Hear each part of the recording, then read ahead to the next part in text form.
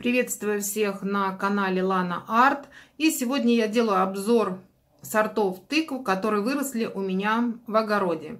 Приобретала я два сорта тыкв. Это цукатная, вот такая, и мускатная прованская, вот такая. В итоге я получила вот такое разнообразие.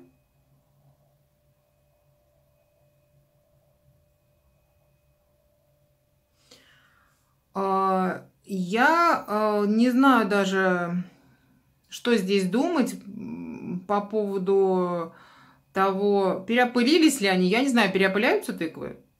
Что касается вот этих двух, они похожи. Одна более желтенькая, другая более зелененькая. Если брать по цвету, то они ближе к цукатной. Тут все-таки зеленое что-то есть. Но если брать по цвету скажем, мякоти, да, то они более оранжевые, тогда они ближе к мускатной. По вкусу, на мой вкус, они абсолютно одинаковые. Они приятные, имеют такой приятный сладковатый вкус, не пресные, приятные. Э, шкурка у них э, одинаково мягко режется.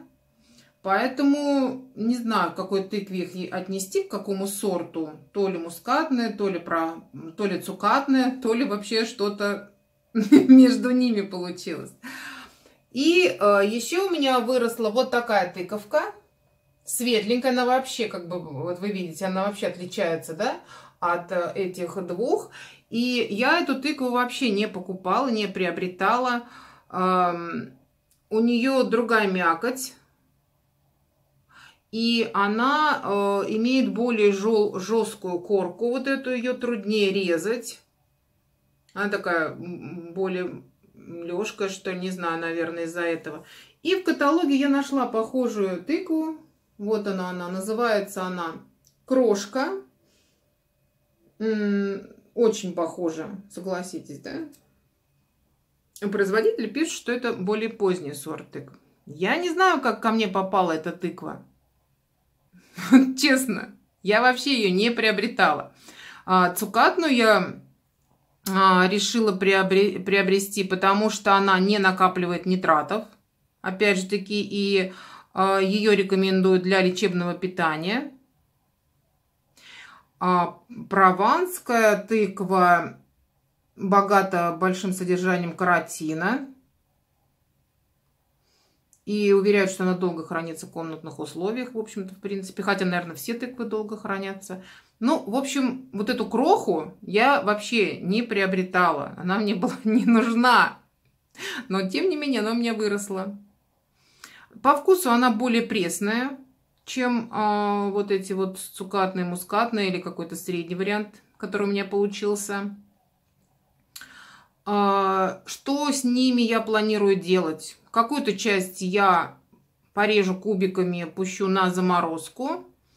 Какую-то часть, скорее всего, вот э, из этих, э, которые цукатная или мускатная, сделаю, наверное, попробую цукаты. Я ни разу не делала, это будет мой первый опыт, но попробую. И что-то попробую сейчас вот в свежем виде пустить э, на тушение, какой-то сделать либо овощное какое-то ассорти, пожарить, вообще попробовать, как оно употребление в свежем виде. Потому что это для меня новая культура. Ни мои родители никогда не выращивали. В общем-то, вот э, в деревне там у меня у бабушки тоже никогда не выращивали тыкву. Э, никогда с ней вообще не имела дела. Поэтому это первый год, когда я выращиваю тыкву. Я училась ее правильно формировать, потому что есть свои особенности в плети, чтобы получить большой урожай. Но на самом деле за большим урожаем я не гонюсь. У меня нет ни погреба, ни подвала, ни что-то. Достаточно большие тыквы вот хранить, и они занимают очень много места. Поэтому, может быть, если буду выращивать, возьму какие-то более маленькие экземпляры какие-то, да. В принципе, для меня этого урожая вполне достаточно. Вот. Если вы имеете какие-то места для хранения, то, конечно, это да тогда вы можете бороться за урожай. Тем более сейчас вот э, сады МПО вот эти вот России предлагают какую-то семена гигантской тыквы, которая вырастает аж там до 70 килограмм. Ну, если честно, мне, конечно, интересно, но мне такая большая тыква не нужна. Мне лучше маленькие и вкусненькие. Не знаю, как вам, но мне лучше такие. Так что вот такой урожай тыквы у меня вырос.